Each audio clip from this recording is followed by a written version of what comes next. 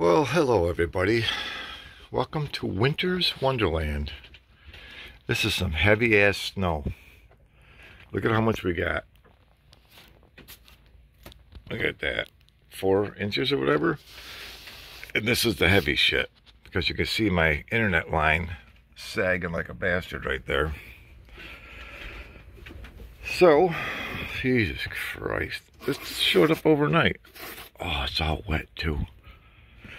Well, we'll see if my construction... Look at this.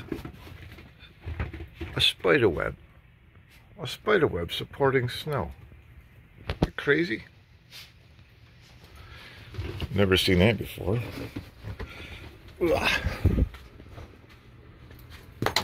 Oh boy, there's some weight up there. That cheapy plastic shit's gonna break. Junior, you cheated. So my average morning thing, they come out and look for mousies and I can see the door is open on the cage so we didn't catch anything. A little nippy in here. How are we holding up in here? Got one heater going and we're 58. Okay, not bad. I opened up my little door down there to let some heat in. But all right, so that's not too bad, 58. Four boxes showed up of this. So I've got four more boxes of this here. And it's actually too cold to put this up now. I'd have to turn my heater on. Um, have you guys ever seen that YouTube um, channel called Caught in Providence? And it's a judge, Judge Caprio and, uh, you know, he's kind of reminds you of the dad you've always wanted. You know, he's fair and he's not like your typical judges like around here that just, you know, you got speeding, here's a ticket, here's the price, pay it. You know what I mean? He's got sympathy. You know, he listens to your backstory, you know, of, of what the deal is and whatever. But he's also started another um, little sideshow type thing talking about issues and, and whatnot. And I'll put a link in the description and, uh, well, comment section. I'll put the link in the comment section. I think it's easier to find it there. And listen to what this guy says because uh, he's 100% right about um, about stuff. Um, you know, like what with friends and stuff like that, and uh, you know, people that just can't let go of an issue, and they just keep, you know, digging and digging and digging and see what they can get on you or making snide comments instead of just living your life and letting go and live in peace. It just eats away at them, trying to get back at you for stuff. And and he's right. You know, he's right because I had my neighbor next door always breaking my balls. So then I had to always break his balls. But after he's gone, it was like a weight lifted off me and I was like total peace.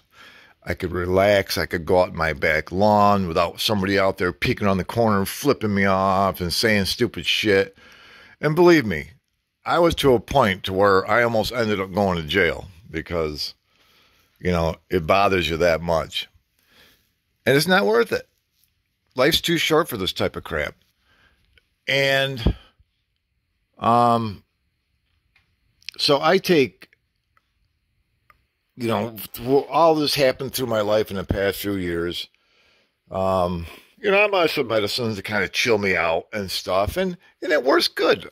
Nothing bothers me anymore, and um, you know, you just got to watch the video and you'll understand the point I'm trying to make that life isn't worth it. You know, if you don't get along with somebody, just move forward, you know, and just continue on with your life instead of letting somebody else get into your life and you're wasting your life and your time on them. And you shouldn't be. See, I live my life for myself because nobody gives a shit about anybody anymore. And you've probably noticed that. You've probably noticed that in your families and, and whatnot, that everybody now is hooray for me and screw everybody else. And that's what the world is coming down to. Nobody cares about nobody but themselves. And correct me if I'm wrong, I'm sure we've all seen it. We've all seen it in our family, friends, acquaintances, whatever, you know, and people in general. Yeah. So that's my attitude. I have this weird uh, thing that I can just erase people out of my life um, and not care. I did it to my mother, um, my brothers and stuff. And, you know, my mom was, I come to find out in my lifetime what she's done and this and that. And she's nothing but a user. And, and, uh, so I just erased her out of my life and she died alone. And I know it sounds terrible to some of you guys, but you don't know the full story. And I don't care you know? And uh, does it bother me? Absolutely not. I could care less. I'm living my life for me. And if people want to be part of it, fine. If you don't, fine. Doesn't matter. I don't give a shit because um, you can't let other people influence your life or bother you because life is too damn short to let people, you know, I don't know, try to control it or whatever the hell word I'm looking for. I'm not even sure. But so, got the sniffles this morning. Anyways, you know, you just have to move on. But this Judge Caprio, he's been a judge for a long time. He was a teacher, and uh, yeah, he's uh, you should watch his channel. And yeah, he kind of reminds you I told him he should run for president because I don't know. You'll understand why when you see the video that. Uh, and go back and look at some of his other ones in his court cases. When he calls people up to court and he says, "Okay, you got a ticket for this, ticket for that," what what was going on? You know, he asks the backstories like, "Why were you speeding? Why did you do that?" Like most judges around here, they don't give a shit. Oh, you got a speeding ticket for sixty over forty. It's going to cost you three hundred dollars. How are you want to pay it? They don't give a crap about you, but this judge does. And he's up in Providence, Rhode Island. And uh, yeah. So, like I said, he made another channel. Spun off of that because a lot of people were asking him questions and his advice and whatnot. So he created a channel to do that, to help people out. But if you're having issues and problems with people and and whatever, I mean, you know, people trying to pry into your previous life and friends and trying to get trying to get something on you, you know, and whatever. They're just wasting their time. And you don't let stuff like that bother you because, you know, everybody knows my backstory of my life because I'm open and free about it. I, I don't give a shit, you know? And uh, so that's the way it is. But I, I felt compelled to bring this to some people's attentions that uh, you know out there that's having a hard time with stuff and whatever. Look at, don't let people bother you. Um, you know, if somebody says something to you stupid at Walmart, wherever, just ignore it. Just go on with your life. Don't let shit bother you. It's just words. That's all it is, is words. You know, words can't hurt you you know, that sticks and stones, whatever, blah, blah, blah. So that's what I do. I just continue on with my life. I'm not going to be dragged down by somebody else's uh, anger or whatever. It's like, I don't give a shit, you know? Live your life for yourself. Don't worry about everybody else. Life is too freaking short to waste your time and energy trying to break other people's balls. That's how I look at it. You know, I don't have any beef with anybody. You know, I've made mistakes in my past. I've tried to make up for it.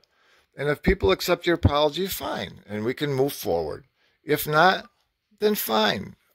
You know, I've made the first few steps to fix the issue, and that's it. So, and and that, that's all you can do. That's all you can really do is make amends. If they don't accept it, fine. So, and then you've done your part. You've done all you can do. And if it's not good enough, just move on. Move on. And that's why I like spending time in my garage and buying stuff like this. And it just keeps me busy and and uh, stuff like that. Gives me something to do and and stuff I like to do is fix stuff and whatnot. And uh, that's it. So, anyways, it's cold out here. Junior's got to go to the vet today. What the hell are we reading? Okay, it's 40 in here. It's not too bad. the door's open and closing by itself out there from the wind. But, you know, I like being a happy, goofy guy. But it helps. But, yeah. Anyways, I'm dragging this on too long. I didn't plan on talking this long. But, yeah, check it out. Check out that Judge Caprio. He's a he's an older fella, but it just makes it just makes a lot of sense listening to him, and it's kind of like what I've always said. You know, life really is short. You never know. You don't know when your number's up. You know, I'm talking to Grandpa, and um, you know, it's like he's got plans to do this, this, and that, and it's like you're 90 years old. You're not, you know, you're not freaking uh, 20 where you can just drop everything and start a life all over again. It's like, you know, I don't know. But, I mean, if I was that old, I don't know. I wouldn't have plans to do anything except probably kick off at any minute. But, I don't know. But see, I mean, even somebody at that age still has hope and whatever, but I drifted off course, I think, here. Anyhow, this battery's charged. This big battery is supposed to last a long time. It's freaking crap. But these batteries suck. When it's cold out, these suck. They don't last for long. That's why I always revolve charging these. Even if I don't use them, I'll throw them in the charger and I'll let them go for a while. But even these here, I rotate them around and charge them. Yeah, cold uh, cold kills lithium batteries. It drains them out. Look at your phone when it's very cold outside. You go outside with 100% charge in your phone. 10 minutes later, you're down to like 50. It's like, what the hell happened? But my solar panels are covered in snow. They're not putting out any juice. But, okay. I just wanted to share that with you guys. And, um, yeah, check the uh, comment section. I'll put the link in there. Have a good day. I'll be playing in the snow.